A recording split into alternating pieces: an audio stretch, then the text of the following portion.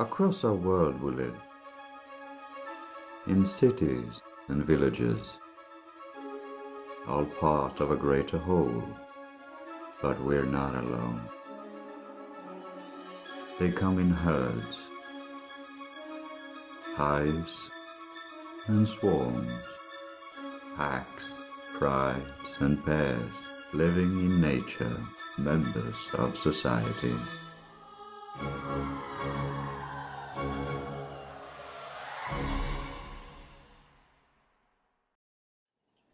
Great Plains of Africa, some of the mightiest animals on earth share space with the smallest, in one of the greatest areas of nature untouched by man.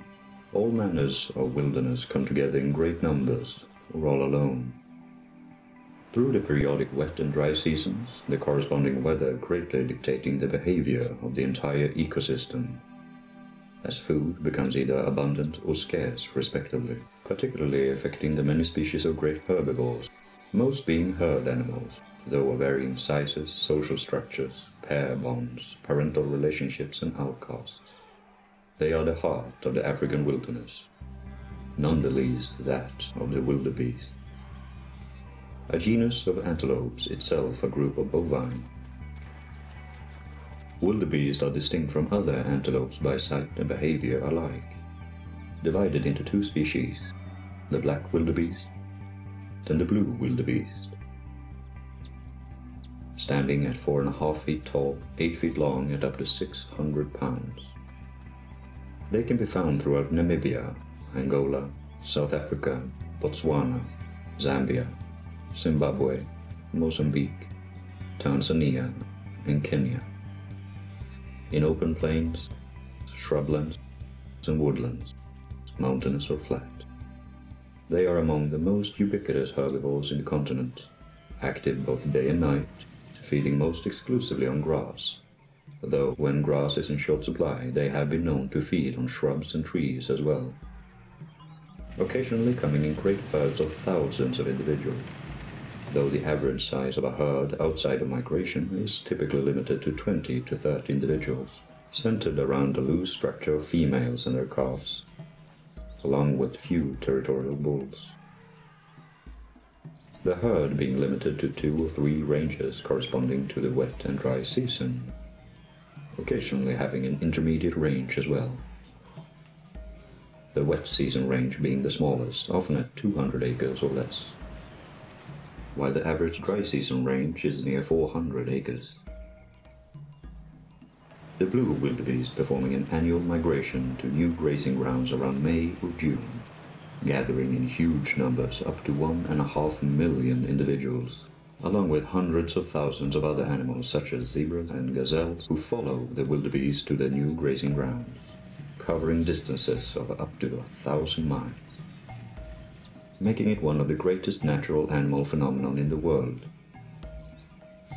As such immense herding takes place, wildebeest are required to be highly social and communicative, using body language and vocalizations and olfactory communications. A male's bellow being loud enough to be heard over a mile and a half away, while urination and defecation as well as preorbital glands near the eyes and pedal glands on the feet aid in olfactory communications. Wildebeest often rubbing their heads and faces on each other's backsides for social contact, mother and child recognition, and conflict management. While both male and female grow horns, there are subtle differences between them, including the size and angle. Mating season, known as rut, lasts three weeks a year, and usually coincides with the end of the rainy season when the wildebeest can feed on the lush green grass as well as minimize risk of predation due to decreased predator abundance. Females usually maturing at 16 months of age, while males can take up to two years. Though the males become aggressively territorial and mostly succeed in mating only at four years of age, they do not normally form permanent pair bonds, shown to engage multiple mates in a single season, during each rut, the older males establish small territories by calling and herding, usually around less than an acre in size, as well as infighting between males known as sparring. They do not eat or sleep as long as mature females are in the vicinity, instead focusing their entire attention on the females by serenading them with hums, croaks and bellows, and herding large groups of females together into their territory. Once a male has gained access to a mate, the female remains close by, mating dozens of times to ensure conception. After which, bachelors, pregnant females, females who recently gave birth, and older calves are all segregated into separate groups. The gestational period of wildebeest is typically 8 months, with a newborn calf weighing approximately 45 pounds. The period immediately after birth being the most crucial as the calf is imprinted by the female, the mother staying close to her offspring to ensure that the offspring will recognize her by scent alone and vice versa. After which the calf learns first to stand, then to walk within 6 to 8 minutes after birth. Up to 500,000 calves are then born between February and March during the start of the rainy season, able to keep up with the pace of the herd within days. The young calf stays close to his mother for the first few months, protecting it from predators, with males often remaining at the outer rim of the herd to help protect the more vulnerable calves as well. The calf gains independence at 8 months of age and is commonly considered fully grown at 16 months. The average life expectancy of the wildebeest is typically around 20 years old. It is during their first year that wildebeest are the most vulnerable to predation, often targeted by lions, cheetahs, hyenas, and African wild dogs. Despite common perception, wildebeest overall are most vulnerable when in larger herds than small, as individuals tend to be less vigilant in great numbers, though the individual risk of predation is much smaller. Once a predator is spotted, the herd gathers closely while braying and bellowing loud, shrill alarm calls to alert others as to the location of the predator, as well as stomping their feet to intimidate it, with males and females who recently gave birth being aggressive pursuers of predators, chasing them off. Wildebeest respond similarly to alarm calls made by other animals such as gazelles and baboons, with smaller animals aside from predators often trailing the wildebeest herd for scavenging and protection. Wildebeest often specifically group together with smaller groups of zebras whenever faced with an open savanna environment to reduce risk of individual predation. Though they remain segregated, the wildebeest and the zebras effectively form a cross-species herd or larger cohesive group. While the wildebeest still retain their inner herd mentality, our so-called swarm intelligence, wherein despite having the appearance of a large group of individuals chaotically moving alongside each other, the herd actually systematically explore, analyze and overcome obstacles as a single entity. An instinct that sometimes even overcomes individual survival, with weaker individuals often separating themselves, falling victims to predators such as crocodiles, or drowning when crossing rivers, so that a herd can move on otherwise intact. Prioritizing the herd as a social unit within the animal society.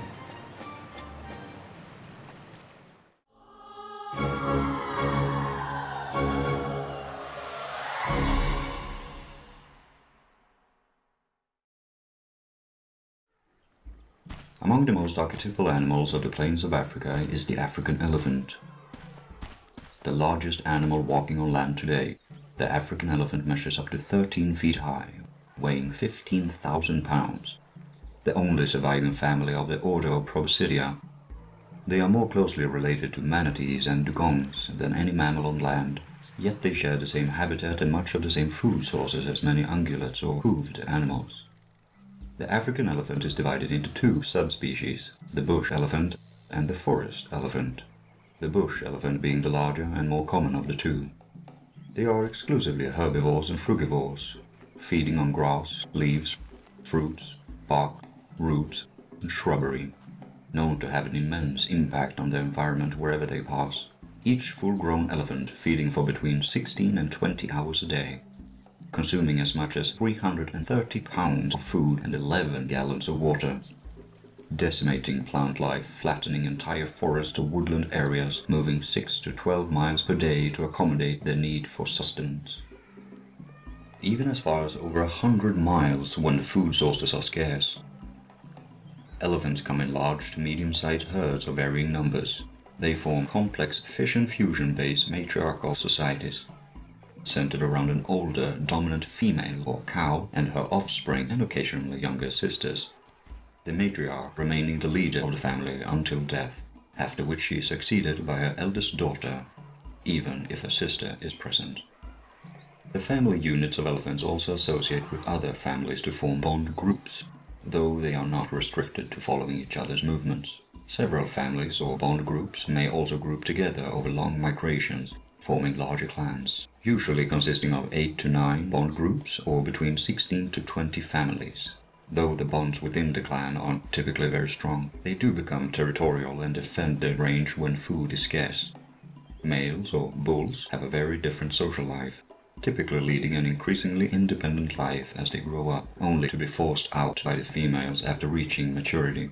The bulls then lead a mostly solitary life, only occasionally grouping together with other males in bull groups of around 10 to 20 individuals. The bull group, as well as solitary male-male encounters, are defined by a distinct dominance hierarchy, depending on health, age, size, and sexual condition. Older bulls dominating younger ones and dispersing any attempts at forming groups to challenge them though male elephants may use threat displays and engage in sparring, playful or otherwise. Legitimate fights are rare and limited mainly to mature males over territorial displays or as part of mate guarding behavior. The only time the males and females interact are during mating season, which happens only when a cow has reached her fertile period, as well as when the male has entered a state of heightened testosterone, known as musth. While cows can be fertile multiple times, males only enter musth once a year, typically during the dry season for younger males and wet season for the older ones. Musth is characterized by testosterone levels increasing by up to 60 times that of normal levels, accompanied by an acute swelling of the temporal glands, followed by a constant state of highly aggressive behavior and excretion of a fluid known as temporin from the sides of their heads behavior which can lead the elephant to charge any animal without provocation. During this time, the bull will try to track and follow a potential mate and assess her condition by a collection of pheromones excreted from her urine. The bull then engages in a mate guarding behavior, following the female or multiple females to fend off other suitors. Once secured, the male will lay his trunk on the female's back to signal his desire to mount her. Most mating successfully accomplished by older males during the wet season. An elephant pregnancy lasts two years, with interbirth intervals of four to five years. The extended pregnancy allowing the fetus to be born highly developed and able to quickly walk and use its trunk to collect food. A single calf is born 33 inches tall and weighing at around 260 pounds, while for the first few days the mother takes care to shield the calf from the rest of the herd. Once the calf is strong enough to keep up with the migration, it is greeted by all members of the herd by touching and caressing it as a sign of affection. The calf is then occasionally subjected to alloparenting or shared parenting by several females in the herd, usually the aunt or older sibling. While calves are largely dependent on nursing for the first six months, they can go on past two years before weaning entirely around which time the calf starts to engage in more outwardly social bonding behavior, such as chasing other calves as with the females, or play fighting as with males. The female maturing at age 9, while the males take longer until age 14 or 15, though formal adulthood is only reached at age 18 for both sexes. The average life expectancy of elephants being 60 to 70 years, as elephants past adulthood are largely impervious to predation due to their immense size. Only larger predators and pack hunters such as lions, hyenas, and African wild dogs targeting calves. As highly social animals, elephants have various forms of communication, using their trunks to greet other elephants by stroking or wrapping them together. Trunk slaps or shoves to discipline calves and younger elephants, and to collect chemical information about each other by touching each other's mouths, temporal glands, and genitalia, deriving information about the individual's health, age, and status. Elephants also use a variety of calls, mostly produced through the larynx, but also occasionally modified through the trunk, including trumpeting used to express excitement, distress, or aggression, roars and squeals during fighting, and bellows when wounded. Elephants have also been shown to communicate through seismics, By impacting the ground with their feet, the vibrations are carried for miles. Elephants on the receiving end able to channel their vibrations through their front legs onto the ear canal. Highly intelligent, elephants have been shown to express self-awareness and cognition with extreme long-term memory, especially of migratory patterns and locations of family members over a period of years, even decades. Further speculated to be capable of expressing emotion and concern about the welfare of their family members and those of their bond groups.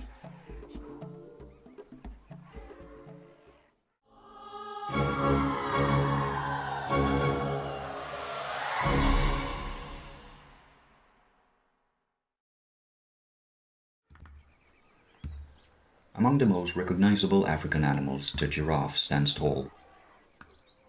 Widely known for their distinctive and unique appearance, their only remaining living relative being the okapi of the Congo. Giraffes are instantly recognized for their enormous necks and long legs, making each of the nine subspecies the tallest mammal in the world. The legs themselves taller than the average human. Spread out over nearly all of sub-Saharan Africa, giraffes are also among the most ubiquitous herbivores of Africa found throughout savannas, grasslands and open woodlands.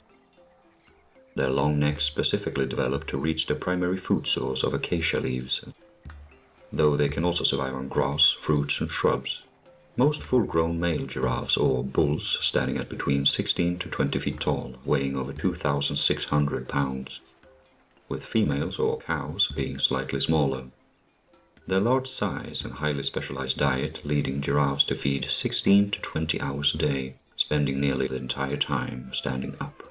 Giraffes manage it by a process of rumination or chewing, swallowing, regurgitating and then chewing it again to maximize their nutritional intake, thus requiring less food than other animals of equivalent size as their food becomes more concentrated, only eating on average 75 pounds of foliage each day.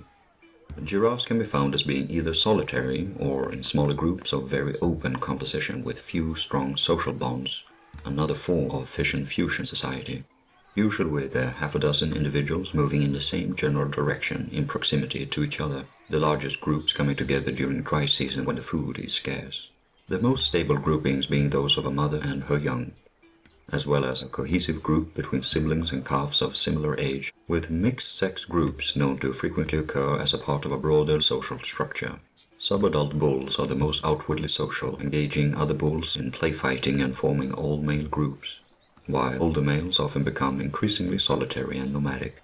Giraffes are seldom territorial, but have clearly defined home ranges where they are centered around and return to, greatly affecting the area through their feeding, often stripping trees down to the bark and giving so-called waistlines to taller trees, changing the very landscape through their feeding, particularly when moving in larger groups as their impact is spread out over larger areas and are not confined to the migration pattern of a herd.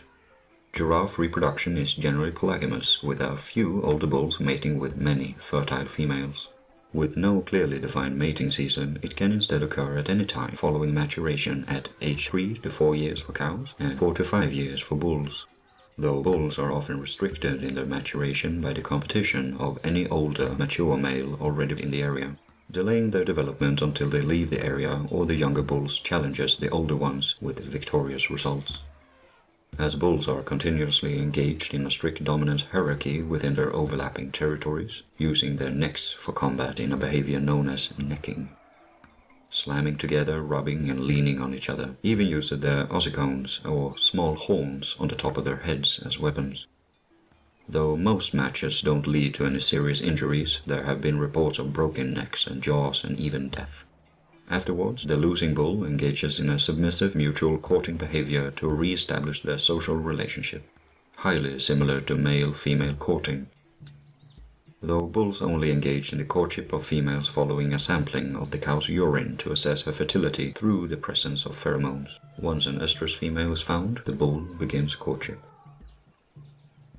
The bulls emit uh, loud coughing sounds to signal their intent, then engage in extensive mate guarding behavior, challenging other males in the area to duels as well, though a single bull may be guarding several cows over a larger area. Mating itself is typically brief and repeated. Afterwards, a gestation period at around 15 months commences. during which the cow returns to the place of her birth, a cross-generational calving ground. The cow gives birth while standing up, leading to the calf to fall up to 6 feet to the ground, though the extended gestational period also lends its highly developed leg muscles, allowing it to stand within an hour of being born. They are then nursed and cared for exclusively by the mother for the first nine months of its life. Though weaning starts already at four months with introduction of solid foods. New mothers often gather in smaller nursery herds, seeking safety in numbers, occasionally featuring what is known as shared calving pool, wherein calves are periodically left in the care of the herd, while the mother forages or drinks elsewhere temporarily. The other cows in the herd looking after the calf. Though if a threat is detected, the other cows will only alert their own young. The other cows and calves often left to either take notice or follow, or face the threat alone. While cows share a strong bond of varying degree with their calf until the next calving, bulls play no active role in raising the young. Though unlike most other African herbivores, the males do exhibit friendly interaction with the calves when they come in direct contact. Male calves leave their mothers at 15 months of age, either becoming solitary or joining old male groups. While females often become solitary at 18 months of age, though remaining in the family territory until they themselves are impregnated. Though more than half of our calves don't survive their first year due to predation. Adult giraffes generally being protected by their size from most predators except for lions, the average lifespan being 25 years. Calves are instead targeted by hyenas, African wild dogs and leopards alike. Though giraffes are typically silent, they have also been known to exhibit a few calls, ranging from infrasound being carried on for miles, inaudible to the human ear, to bellows between a mother and a calf, as well as mooing and mewing sounds of the calves themselves. And hissing and moaning calls of adults to call attention to a threat or to intimidate each other. While their hearts may be the biggest of any mammal on land at over 25 pounds, and they may be largely docile. Giraffes have shown little concern for other giraffes, or indeed other animals at large, occasionally known to deviate from their herbivorous diet to ingest carrion even from other fallen giraffes when opportunity arises. From herds and clans, to families and loners, and mother and child, the herbivores of Africa come in all configurations, each employing different means of communication and interaction, each having different social rules and norms to abide by. They all have one thing in common. They go through the seasons together as a part of a larger group, living in nature as a society.